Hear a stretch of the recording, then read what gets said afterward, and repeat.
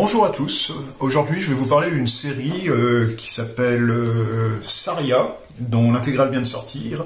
Euh, série dont la vie a été quelque peu chaotique. C'est une série au départ, d'ailleurs, qui, ne s'appelait pas Saria, mais qui s'appelait Les Enfers, et qui a été créée par le scénariste prolifique qui s'appelle Jean Dufaux. Jean Dufaux, bon, J'en parle deux secondes, hein, mais je dis prolifique parce qu'il a créé plein de séries. Alors, il a commencé sa carrière au milieu des années 80. Euh, je crois qu'une de ses toutes premières séries, c'était une série qui s'appelait Brelan de Dame. Euh, c'était Renault qui dessinait ça. Et euh, c'était assez, on va dire, novateur entre guillemets pour l'époque, puisque c'était pas si courant que ça que ce soit des héroïnes qui soient mises en avant dans, les, dans la BD franco-belge. Alors là, c'était un trio. Euh, c'était une série qui n'a pas euh, fait date, hein, euh, mais moi j'aimais bien. je lisais le journal Tintin à l'époque et c'était une série que j'aimais bien. mais après, alors il s'est révélé avec, bah, toujours avec Renault, il a créé là une série au long cours qui s'appelle Jessica Blandy, avec une héroïne assez sexy. il a créé, alors toujours dans le sexy, il a créé la série Jean avec Anna Mirales. Euh, il a créé aussi euh, le best-seller euh, Murena, qui se passe dans l'Antiquité romaine. il a travaillé aussi avec bah, les plus grands, hein, comme Rosinski par exemple, avec qui il a fait La complainte des Landes perdues, enfin les quatre premiers tomes. il a fait donc énormément, énormément de choses. Et alors là, pour cette série, je vous dis qu'il s'appelle Les Enfers au départ, euh, il l'a créé bah, pour le très bon dessinateur italien euh, Paolo euh, Eroteri Serpieri. Bon, je vais l'appeler Serpieri, c'est plus simple. Serpieri qui est connu principalement pour ses, BD érotiques, voire pornographiques, avec entre autres la, la, très très célèbre et très très connue série Druna, euh, dont je parlerai un petit peu euh, à la fin de cette vidéo. Mais euh, Serpieri n'a pas fait que ça, hein. il, est aussi connu pour avoir fait beaucoup de BD western, qui sont très très bonnes, hein, je vous recommande. donc ils ont créé tous les deux cette série qui s'appelle Les Enfers, dont le premier tome est sorti en 2007, et c'est sorti chez un éditeur qui n'existe plus, en tout cas dans le monde de la BD, c'est c'est sorti chez Robert Laffont. Euh, alors, ben, le, premier tome donc est, sorti, a, eu son, petit, succès. Euh, malheureusement, malheureusement, bien euh, Robert Laffont, au bout de deux ans, décide d'arrêter son département BD. Et toutes les séries qu'ils avaient entamées, donc, se retrouvent un petit peu le, bec dans l'eau, hein, puisque euh, souvent il n'y avait qu'un tome qui était sorti et, les lecteurs attendaient la suite. Heureusement, euh, en 2009, euh, il y a Delcourt qui a racheté tout le catalogue de, Robert Laffont, enfin du département BD, et s'est attelé ben, à, poursuivre les séries qui, avaient été commencées. Alors pour les enfers, c'était pas encore trop un problème. Hein. Serpieri avait commencé euh, de dessiner euh, les planches du deuxième tome. Problème, euh, bah, pour des raisons de santé, il a dû s'arrêter et il n'a dû dessiner, je crois que 4 ou 5 planches hein, du deuxième tome avant de décider, bah, d'un commun accord avec Jean Dufaux, d'arrêter. Hein. il n'était pas en état de continuer.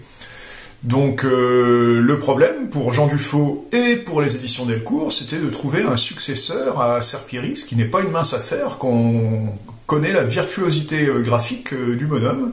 Euh, il fallait pas quand même que les, albums du successeur fassent trop tâche hein, dans la série et que, ça puisse se marier harmonieusement, on va dire.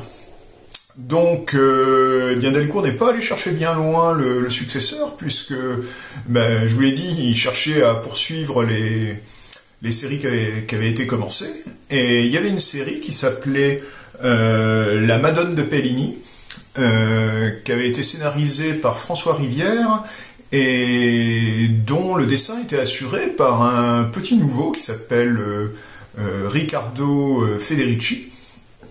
Et cette série, qui n'a pas fait date et ne fera pas date, je pense, euh, bah, s'était fait remarquer quand même pour son dessin virtuose, euh, plus que pour son scénario qui était un petit peu, euh, on va dire, pour être gentil, confus hein, de, François Rivière, c'est pas ce qu'il a fait de mieux. et donc, en voyant le, dessin de ce petit nouveau, ben, les éditions de Delcourt ont eu l'idée de, le présenter à, à Jean Dufaux, qui voyant le, le, dessinateur arrivé s'est dit, oulala, je tiens la perle rare. Et effectivement, euh, en 2012 est paru le second tome, le second tome euh, de des Enfers. Alors, euh, pour bien marquer la reprise, bien sûr, Delcourt a décidé de, de changer le nom de la série hein, pour, bien marquer le pas. Et donc, euh, le nouveau nom, euh, c'est Saria. Alors, Saria, ils sont pas allés chercher bien loin pour le nouveau nom, c'est le nom de l'héroïne, tout simplement, hein, qui s'appelait déjà Saria dans le premier tome euh, dessiné par Serpieri.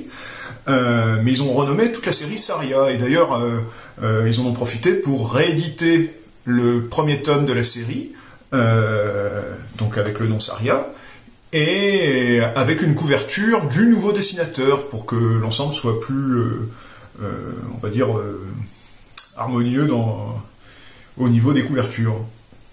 Euh, alors ce deuxième tome, eh bien, euh, il, a, il a pas mal marché, euh, et les lecteurs donc attendaient avec impatience la, suite.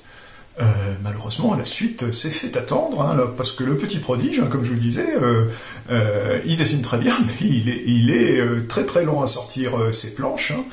Et il a fallu attendre eh bien jusqu'en 2020 que le troisième tome sorte, c'est-à-dire quand même huit ans après. Euh, il faut être patient. Euh, et d'autant plus que euh, l'épidémie de Covid n'a pas arrangé les choses, hein, parce qu'il devait effectivement sortir, je crois même fin 2019, après il a été reporté en 2020, et au final, bah, il sort là en ce début d'année 2021. Donc, euh, ce qui fait que bah, pour boucler la série en trois tomes, il a quand même fallu 14 ans, ce qui n'est pas rien, ce qui n'est pas rien. Mais bon, euh, ça y est, euh, Jean Dufaux doit être satisfait puisqu'il a réussi à mener son projet à terme avec les trois tomes. L'histoire se conclut bien. Alors, je vais vous montrer ça tout à l'heure dans l'unboxing, effectivement. mais alors avant, je vais quand même dire deux mots donc de ce petit Petit nouveau, euh, la personne de Riccardo Federici. Alors petit nouveau, il est plus tellement euh, nouveau maintenant, puisque je vous dis, depuis ses débuts, euh, bah, il s'est écoulé pratiquement 10 ans maintenant. Alors dans l'intervalle, bah, il n'a pas fait que ça quand même. Hein. c'est aussi pour ça que ça a mis du temps. C'est qu'il a trouvé des, travaux un peu plus rémunérateurs, puisqu'il a travaillé beaucoup chez les Américains, dans, les comics américains, et en particulier chez DC Comics, ce qui n'est quand même pas rien. Euh, et il a travaillé sur des séries aussi prestigieuses que Batman, pour lesquelles il a fait plusieurs, euh, plusieurs travaux, et euh, aussi sur Aquaman. et puis maintenant, même, il a une série attitrée dont il est l'unique dessinateur, qui s'appelle Last God. alors que je connais pas, hein, puisque c'est pas encore traduit en français. Hein, la parution, a priori, n'est pas terminée, mais il y a déjà 11 numéros de parus. Euh, et euh, bah, quand on regarde un petit peu les planches, euh, on voit qu'il n'a rien perdu de sa maestria, hein, Federici. alors je vous propose donc de, bah, de, de, regarder un petit peu ce qu'il y a à l'intérieur de cette intégrale. et puis on fait ça tout de suite. Alors, qu'y a-t-il dans cet album? Donc, voici la couverture hein, qui est spécifique à cette intégrale. Hein. le tome 3 a une couverture différente. Donc je vous rappelle hein, que les deux sont sortis en même temps. Euh, donc le tome 3 est sorti euh, ben, pour ceux qui avaient déjà acheté les deux premiers tomes, ce qui est toujours sympa quand même, hein, qu'ils ne soient pas obligés d'acheter l'intégrale pour avoir le troisième tome, parce que parfois ça se fait chez certains éditeurs, mais bon, pas chez Delcourt cette fois-ci. Donc moi, j'avais pas acheté les tomes précédents, donc j'ai acheté directement l'intégrale. Donc voilà.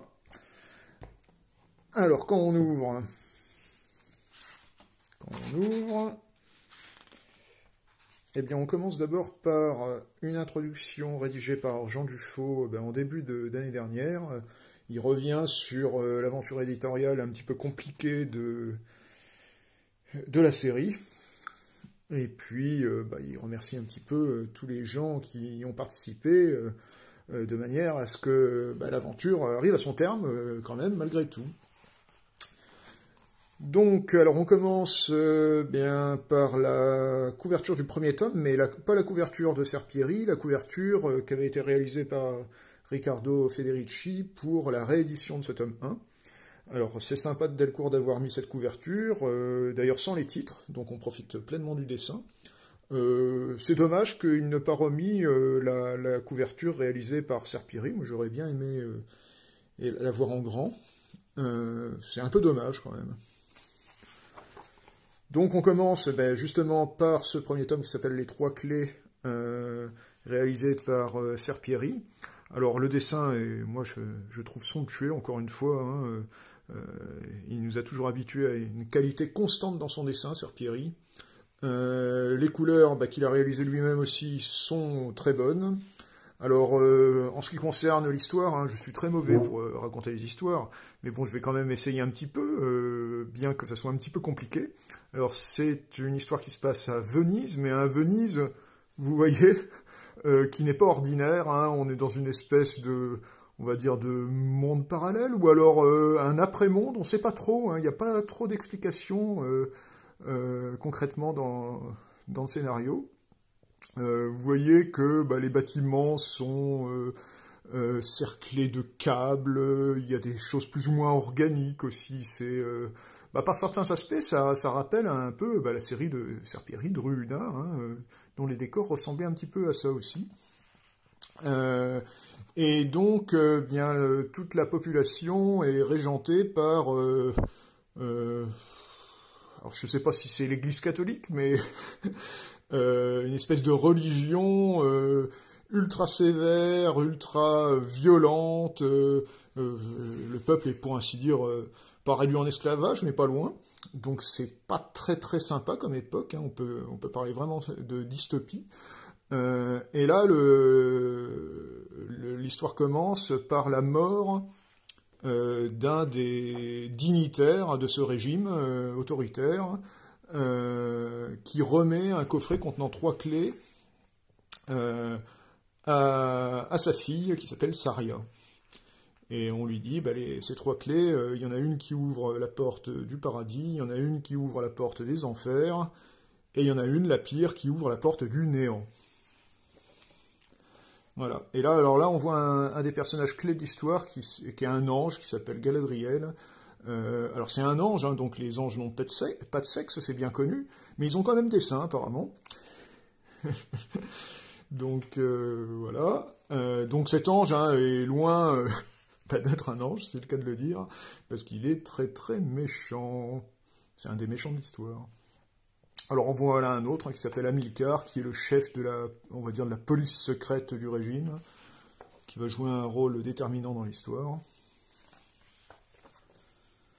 Vous voyez des, superbes planches. Hein, mais c'est très cauchemardesque. Alors on voit qu'il y, a certaines personnes aussi, euh, là c'est le grand grand méchant de l'histoire, euh, bah, qui sont un peu biomécaniques. Alors euh, c'est pareil, hein, c'est pas expliqué du tout ça. Hein, on le voit sur les dessins, mais on n'a pas d'explication à, ce genre de, de choses. Les gens se déplacent en dirigeable, enfin bon. C'est un peu steampunk, par moment. il y a du fantastique, hein, euh, vous voyez, un système de torture avec une, grosse boule noire euh, dont il sort euh, aléatoirement des pointes. Alors si vous avez vraiment beaucoup, beaucoup, beaucoup de chance, eh ben, la pointe ne sort pas à l'endroit où vous êtes et vous êtes épargné. Mais a priori, ça n'arrive pas très souvent. Ben, sauf pour notre héroïne, bien sûr. Vous voyez, jeu feuillette, hein, c'est très très beau. Et le scénario, euh, franchement, on est pris dans l'histoire. Hein, euh, alors bien que ça soit un univers assez compliqué, vous l'avez compris, on n'est pas perdu. On est vraiment euh, emporté. Alors il y a des choses qu'on ne comprend pas, mais c'est pas gênant. C'est pas gênant à partir du moment où on accepte de se laisser entraîner. Bon, là, on revoit qu'on est dans une BD de Serpieri. Hein, alors bien que ça ne soit pas du tout érotique, voire pornographique comme sa série Druuna, il ne résiste pas à montrer un petit peu les formes de son héroïne quand même. Et moi je ne vais pas m'en plaindre. Hein. Avec une belle rousse comme ça. Voilà. Donc c'est... Euh, l'intégrale est un peu chère, hein, parce qu'elle elle vaut pratiquement 30 euros pour seulement 3 tomes. Mais les tomes sont assez fournis, hein, puisque chaque tome fait environ 60 planches. Donc au final, ça fait un bouquin euh, assez conséquent à lire.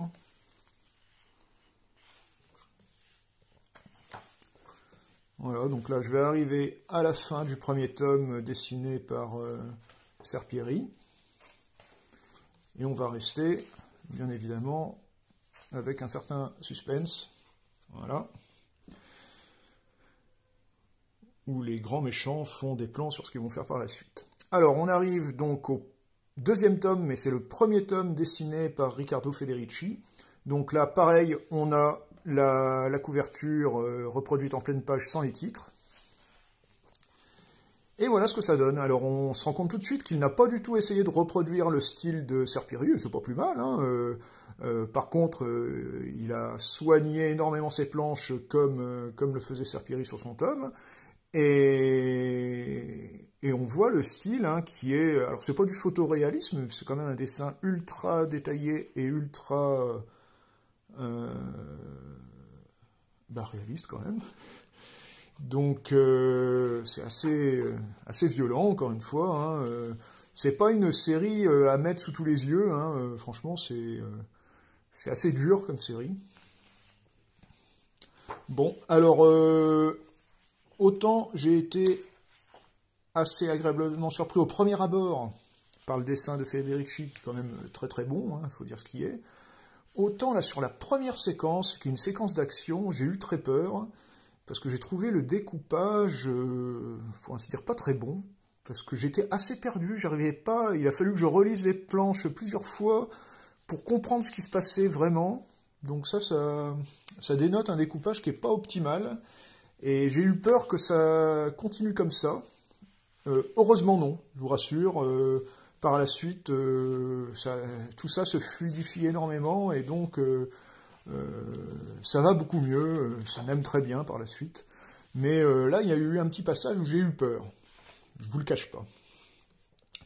Donc euh, ben là, on, reprend, on retrouve les personnages du tome précédent. Alors, euh, ce qui est bien, c'est que bien que le, style des deux dessinateurs soit différent, on n'est pas perdu, c'est-à-dire que les personnages, on les reconnaît instantanément. Il n'y a pas de problème euh, entre le passage de témoin du dessin.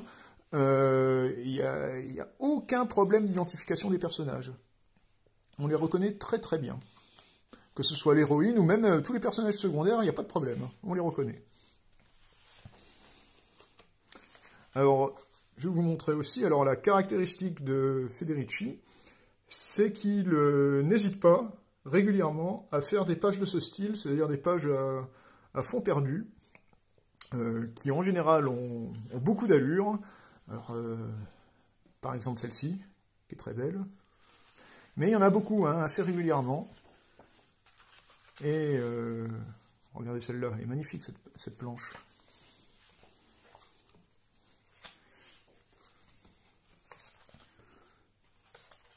Donc, euh, bah, au final, euh, Federici a fait quand même une très bonne reprise. Hein. C'était pas évident de passer après euh, Serpieri et il a réussi avec les honneurs. Hein.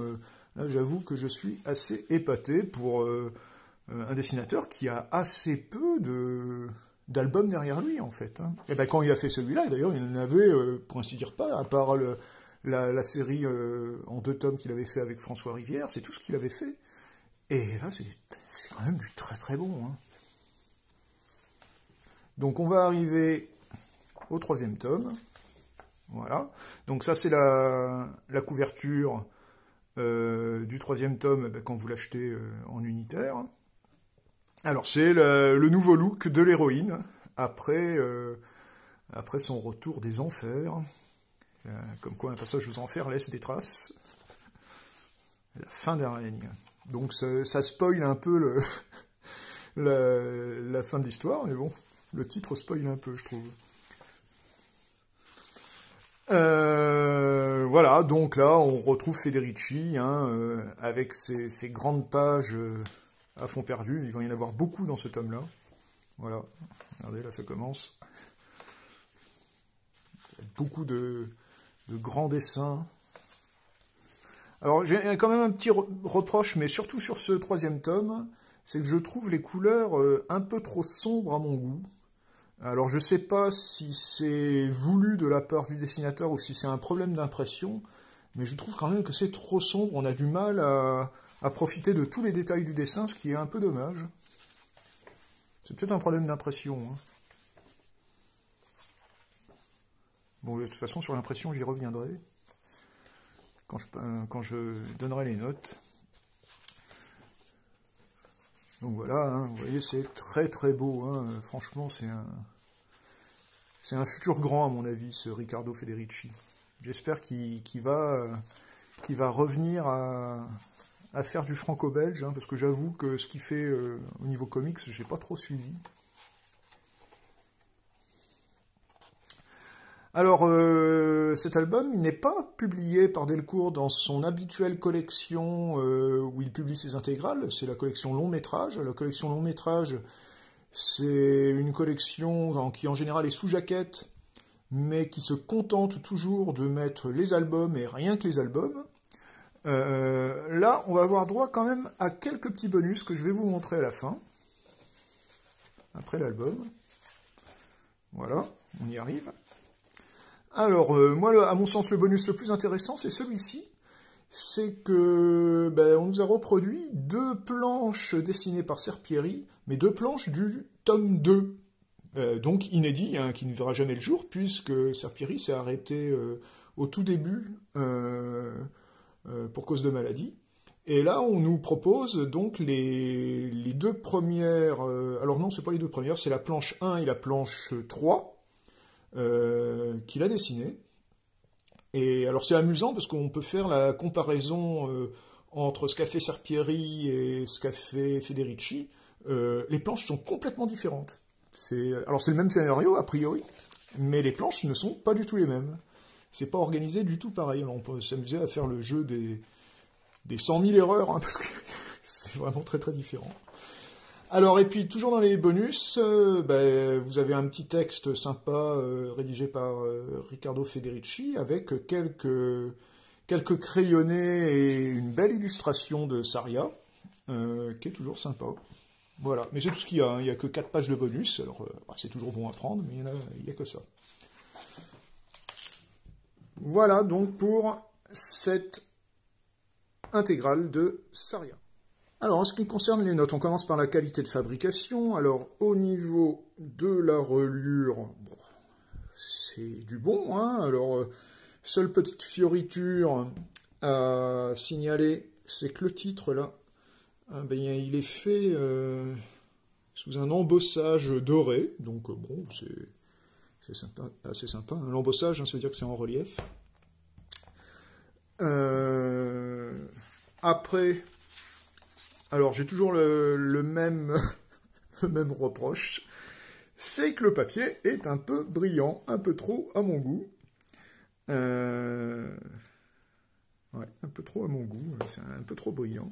J'aurais aimé du papier franchement mat, mais bon. Les éditeurs persistent à nous mettre du papier, brillant. Hein. Bon, mais tant qu'ils le feront, bah, moi je persisterai à leur euh, reprocher. Je suis désolé, mais je n'aime pas ça. Je n'aime pas ça. Donc, euh, au niveau de la qualité de fabrication, autrement, bon, ben, on va dire que c'est dans la bonne moyenne, hein, que c'est, il n'y a pas de, de, problème à proprement parler. Hein, euh.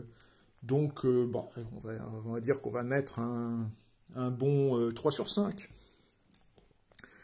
en ce qui concerne les bonus, eh les bonus, bah, il n'y en a pas beaucoup, vous avez vu. Hein, donc, bah, il y a les, les couvertures sans les titres, ça c'est très bien. Et puis, vous avez quatre petites pages de bonus à la fin, euh, les plus intéressants étant les crayonnés de Serpieri, euh, quoique les, croquis et l'illustration de Federici sont sympas aussi. Mais bon, euh, c'est quand même très très peu. Hein, on aurait pu s'attendre à avoir bien plus que ça, surtout vu l'aventure éditoriale assez compliquée de la série. on aurait pu avoir quelqu'un qui ait fait un petit retour sur l'ensemble, hein, alors qu'il n'y a que Jean Dufaux qui en parle un petit peu au début dans son introduction. Mais c'est bien peu, donc je ne vais mettre que 2 sur 5 à l'intérêt de bonus. Quant à l'intérêt général, à, la qualité générale de l'ensemble, eh bien, euh, je suis assez content. Hein, euh, bon, je suis un grand fan de Serpiri, donc euh, il est bien évident que le premier tome, j'ai beaucoup aimé, mais j'ai découvert ce Riccardo Federici avec les tomes 2 et 3, qui sont au final très bons, même malgré les petites réserves que j'ai fait quant au début du tome 2. Après, bon, ça prend sa vitesse de croisière et c'est très bon jusqu'à la fin. Euh, le scénario de Dufaux se, se tient, il n'y a pas de gras, c'est vraiment... Euh, euh, c'est très bien structuré, très bien organisé, malgré la complexité de l'univers, on n'est jamais perdu, c'est du tout bon. donc, je vais attribuer un bon 4 sur 5 à cette histoire. Alors pour conclure cette vidéo donc consacrée à cette belle intégrale euh, Saria par euh, Dufaux, Serpieri et Federici, alors je ne résiste pas à l'envie de, vous donner quelques petits conseils de lecture en ce qui concerne Serpieri, que vous avez compris est un dessinateur que j'apprécie tout particulièrement. Alors, euh, bien, mes conseils vont être assez brefs. Hein. Il y a deux séries d'albums que je vous conseille. Alors la première série, c'est sa série mythique Druuna. Euh, alors que Glenna a eu la bonne idée de rééditer entièrement euh, il y a l'année dernière ou il y a deux ans, je ne sais plus, euh, en collaboration avec l'éditeur italien Lo Scarabeo, sous forme d'intégrale. Alors il y a six albums, vous voyez les six albums ici. c'est très lourd, j'ai du mal. Euh, et donc je vais vous en proposer un petit, feuilletage rapide, alors euh, sans trop insister, hein, bien sûr, euh, sur les, les images un petit peu choquantes pour des esprits chastes. Hein. Alors voilà les albums euh, Druuna. Alors vous voyez, je vais vous montrer. Voilà, toute la série. donc présentation homogène.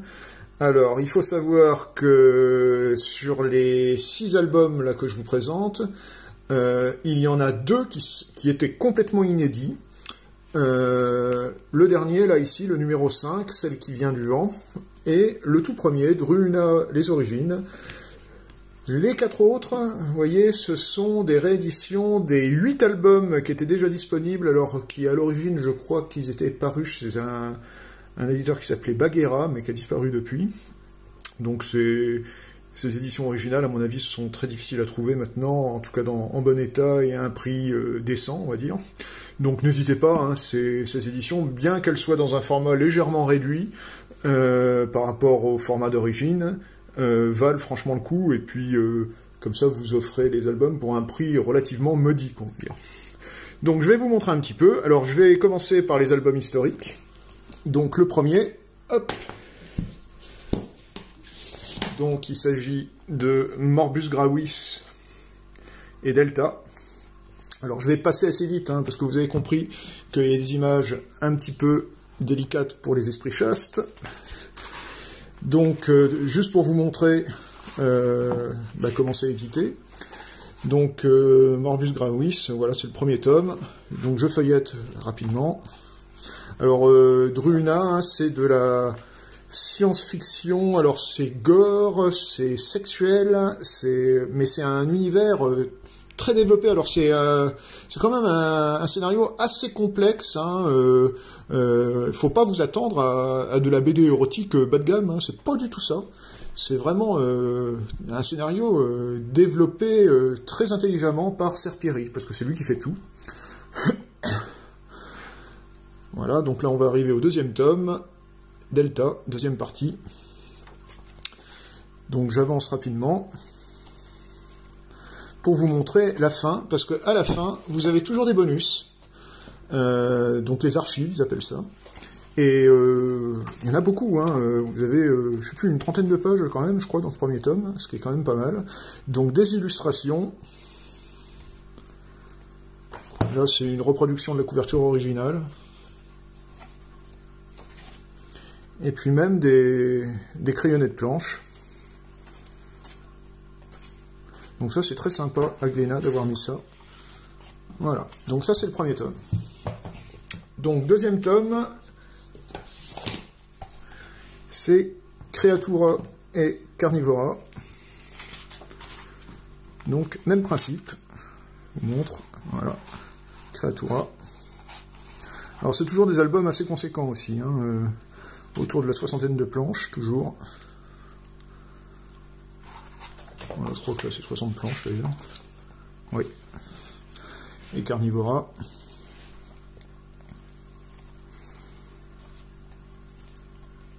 Alors toujours les archives, vous voyez. Pareil, ça ce sont des... C'est une, illustration de couverture, sans les titres. Avec, vous voyez à côté, le crayonné. Elle est pas belle cette brune. Faut aimer les, les brunes plantureuses. Je pense qu'il y a des, des amateurs. Voilà, donc ça c'est pour le deuxième tome. Troisième tome. Hop, on y va. Mandragora Aphrodisia, toujours des noms en A.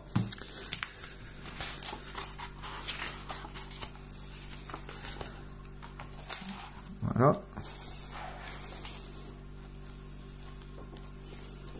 Je feuillette rapidement. Donc là c'est Aphrodisia.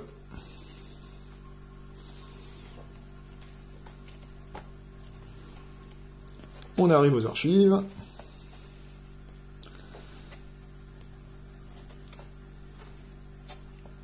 Voilà, illustration de couverture avec le crayonné. Toujours sympa.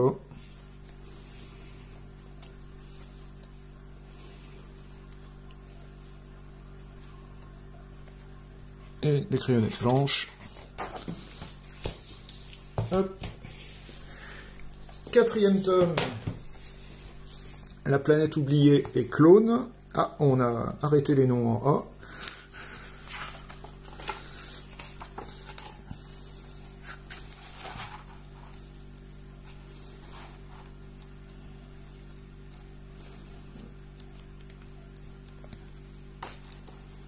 62 planches. Bon.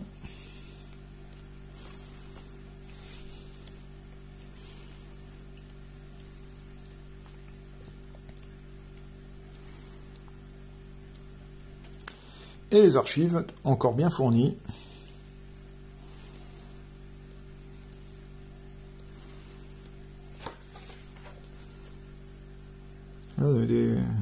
C'est assez sympa, ça c'est des recherches d'expression pour Druna.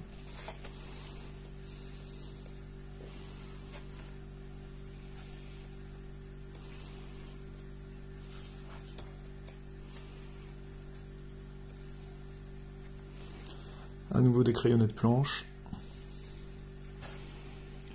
Bon, dans les bulles, il faut lire l'italien, ce qui n'est pas mon cas. Et là, une séquence alternative à celle qui est parue dans l'album.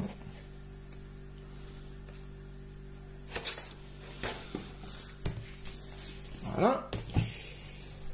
Alors, on arrive bah, aux premières éditions, en fait, puisque c'était inédit jusqu'à présent. Donc, euh, celle qui vient du vent, alors qui est numéroté tome 5, mais qui en fait est le tome 9, du coup, puisque dans les quatre premiers, il y avait deux tomes par, euh, par volume.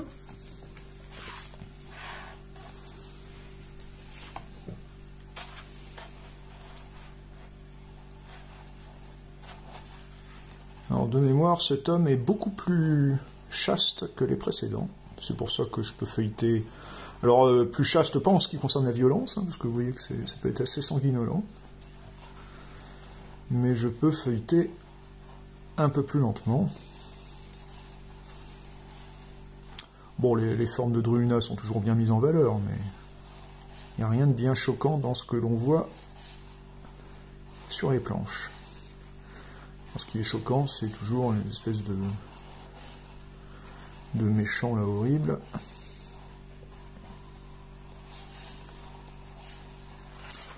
Alors, et les archives, on a toujours les archives.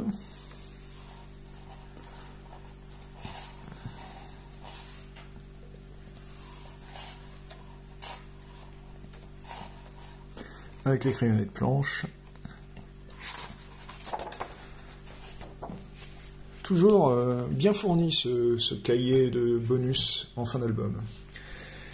Et puis le dernier, qui était aussi inédit au départ, Anima, alors que sous-titré euh, Les Origines.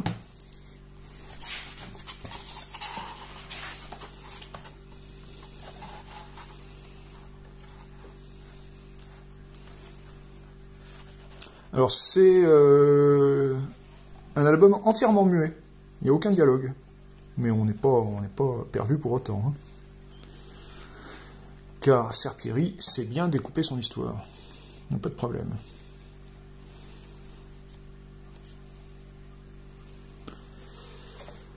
Et les archives, toujours. Beaucoup de crayonnés. Et une belle illustration avec son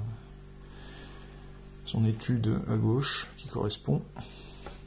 Plus une histoire de 1981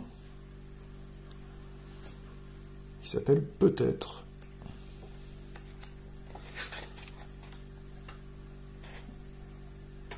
Justement, on annonce Saria, tome 1 et 3 clés. Voilà pour Druluna, j'espère que ça vous a donné envie. Alors dans un registre euh, moins euh, érotique, hein, carrément moins érotique, euh, Serpieri il a fait aussi beaucoup de petites histoires au début de sa carrière et même euh, par la suite, hein, et surtout des histoires de western, cette fois-ci qui ont été éditées ou réédité pour certaines par euh, Mosquito. Alors, tous ces albums que je montre, a priori, je pense qu'ils sont encore disponibles. Euh, donc dans sa série western, hein, donc il y en a un certain nombre aussi. J'en possède 7, je crois que je les ai tous, hein, mais euh, à vérifier. donc pareil, je vais vous montrer un petit peu de quoi ça a l'air. Alors je passe aux histoires de western, donc... Les histoires de western de Serpieri, donc vous voyez, J'en ai 7. La règle du jeu, John et Marie, Peau rouge, Chaman, le héros et la légende, le monstre et l'indienne blanche. Alors je commence par l'indienne blanche, qui est parmi tous les albums, je crois, le, seul qui soit vraiment une réédition complète, puisque cet album est déjà paru, je crois que c'était chez Dargo dans les années début des années 80 mais euh, il doit être relativement introuvable depuis. Donc Mosquito l'a réédité il n'y a, pas très longtemps. Je vais regarder la date, c'était en 2019, donc vous voyez, c'est très récent.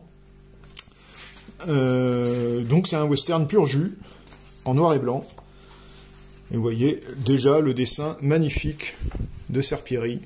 C'est un très bon dessinateur réaliste, hein, il n'y a pas à dire. Sa technique des hachures, est assez bluffante. Hein, ça, il réussit à donner beaucoup de, de relief et de texture à ses dessins par de simples hachures.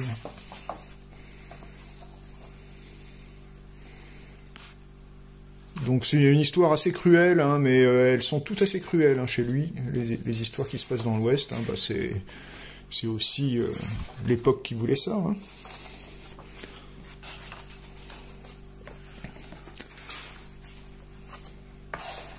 Donc c'est du très bon. Voilà pour l'indienne blanche. Alors ensuite, je vous présente le monstre. Alors le monstre, c'est un recueil de quatre histoires. Alors euh, vous voyez, c'est marqué ici. Euh, trois femmes, euh, un vieux peintre de l'Ouest, L'homme qui n'avait pas de pouce et Le monstre, qui ont toutes été publiés en Italie, mais a priori jamais en France. En tout cas jamais en album. Et on retrouve effectivement toujours le dessin virtuose de Serpieri, avec même une petite séquence érotique.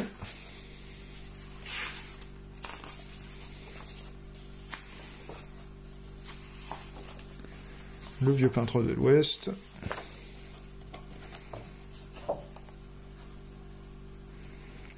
Alors tout ça c'est en noir et blanc, mais vous allez voir, il y a aussi des histoires en couleur.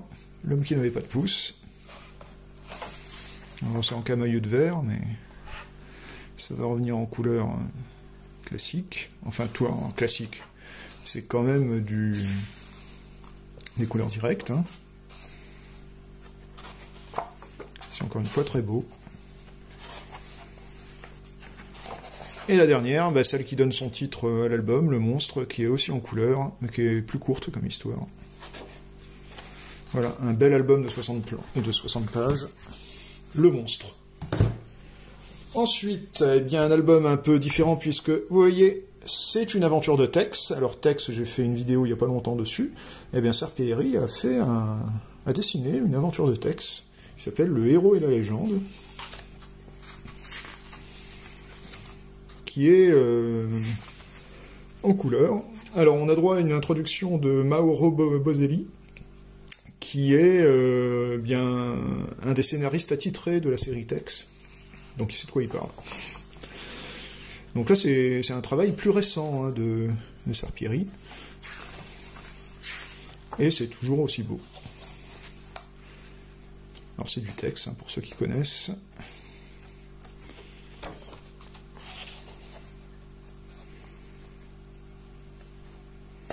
Un album euh, au format classique hein, de 44 planches.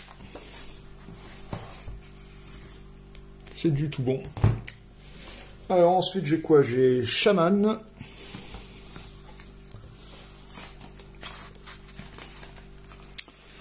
Alors pareil que un des précédents, c'est une compilation de plusieurs histoires, quatre histoires ici, qui ont été publiées en Italie et qui a priori été inédites en France. Bâton de feu, l'homme médecine, chaman et Ormodi. Donc première toujours dans un très beau noir et blanc. Pas de problème, hein, le... au niveau de la qualité d'impression, euh, Mosquito utilise un papier relativement mat, donc ça c'est bon. Et, l'impression est très bonne. Là sur cette histoire, c'est vraiment magnifique, hein, toutes ces, pages sont magnifiques.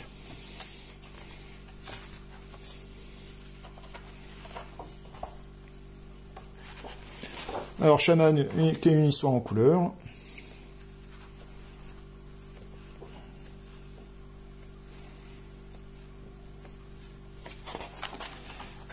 Et puis, l'or maudit, on repasse au noir et blanc.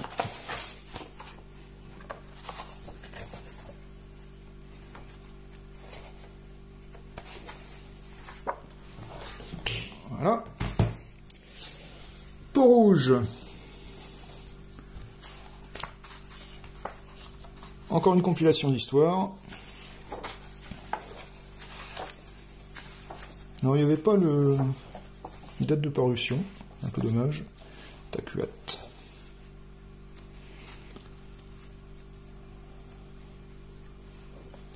La tanière du castor.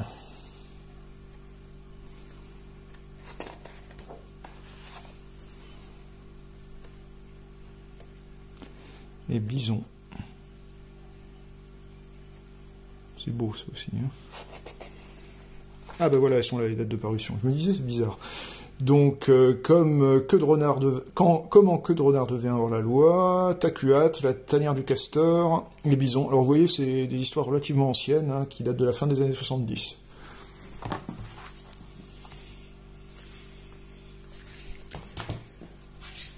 On arrive à John and Mary.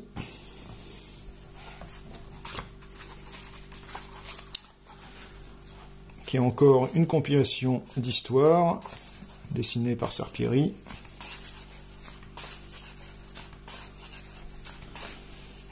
Alors John et Marie, Marie et John.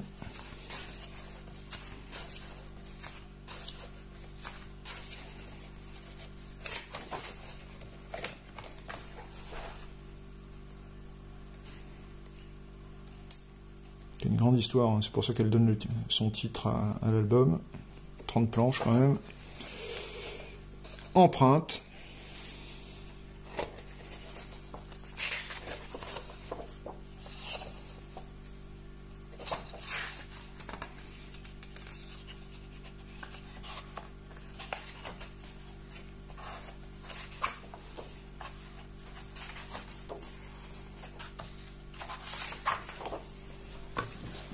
Voilà, Marie.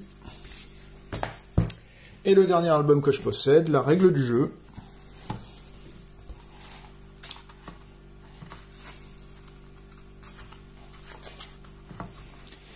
Alors, qui comporte deux histoires, Porter le coup et la règle du jeu, toujours pareil, hein, qui, qui date de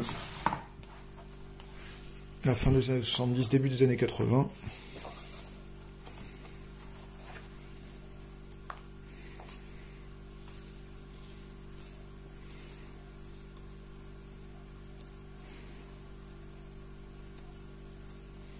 Donc 22 planches pour la première. Et la règle du jeu qui donne son titre à l'album. Qui fait elle aussi une vingtaine de planches. C'est toujours très beau. Voilà. Voilà, c'est tout pour aujourd'hui. Ben, j'espère que je vous ai un petit peu donné euh, envie de découvrir de, nouvelles bandes, euh, envie de découvrir euh, les superbes dessinateurs que sont Serpieri et Federici. Sur ce, ben, je vous dis à bientôt pour une prochaine vidéo Unboxing BD. Ciao